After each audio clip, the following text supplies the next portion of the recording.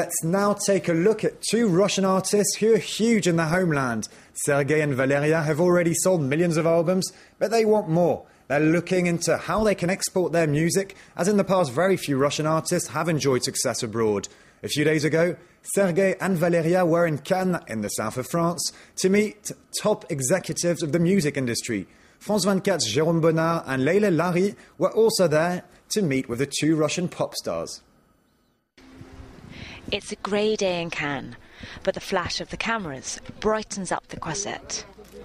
The focus is two of Russia's young stars.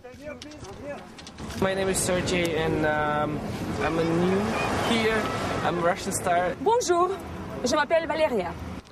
This pair have made the trip because this year Russia is being promoted as the country of honor at MIDEM, a music industry get together where they hope to introduce new Russian trends to the wider world. Um, BG is fun. When you're famous in uh, your own country, it's very um, strange to go to the different country because uh, there's no fame, there's no, uh, uh, there are no people that know you very well.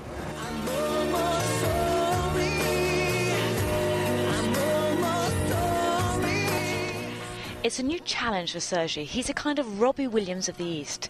Then there is Valeriya. She's already sold 5 million albums in Russia, and she doesn't intend to stop there. She wants to put Russian music on the map. We want to expand the audience, you know. It's just like a challenge. I, I want to do something new.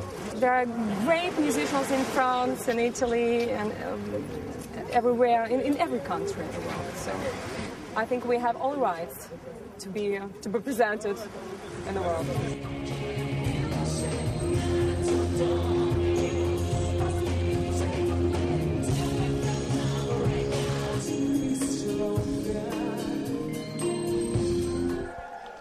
Her debut is a success. This is the new generation of Russian singers. Impressive.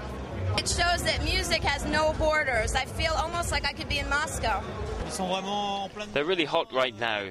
They're new, they've been discovered, and they've got a lot of motivation, so I like them. Above all, these musicians want to make up for lost time. I think that they have a hunger for everything they couldn't have over the years. It's like an explosion. Russia is one of the biggest users of the internet and mobile phones, and music flows through these routes. Everyone hopes music will spread around the world in this way.